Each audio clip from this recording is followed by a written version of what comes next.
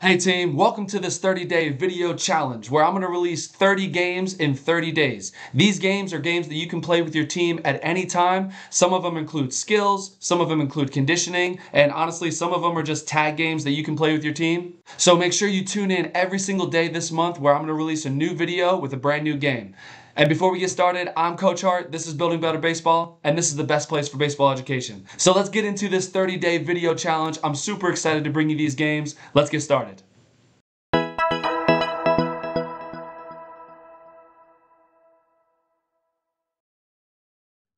Hey team, welcome to day 16 of this 30 day challenge. And day 16, this one is going to be a really quick game and it is a two base race. So if you've seen my other video of top five fun baseball games to play, this was actually in that video. So a two base race, uh, ages, any age can do this. It's really just a fun conditioning game at the end of practice.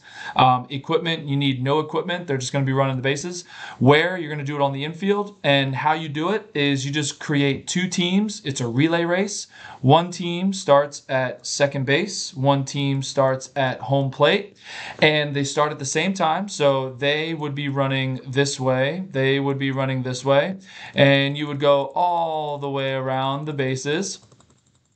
And once you reach your teammates, you tag the next person, and then the next person goes all the way around. And then it's, like I said, really simple. It's whoever wins the race, right? So it's a two base race. It's really fun to do at the end of practice for some conditioning. I used to do it all the time to see who would like clean up the equipment, right? So if you have two teams and you say, oh, the, the winner doesn't have to clean up equipment or the winner doesn't have to do something, some incentive for the teams to win. Um, but like I said, it is that simple. This is a really quick video and it's a two base race. It's a relay race. You have two teams, one at second base, one at home plate, and it's just a relay to see who can win. One little fun thing you could do before we end it is if you do this multiple times in the season, you could actually take the team with the fastest time and you could time them and write down their times throughout the season. And maybe the fastest team at the end of the season, maybe they get something big or something like that. You could do something for the fastest team of the season. So super simple. You can do it at the end of practice as conditioning. It's a lot of fun for the kids. It's a two base race.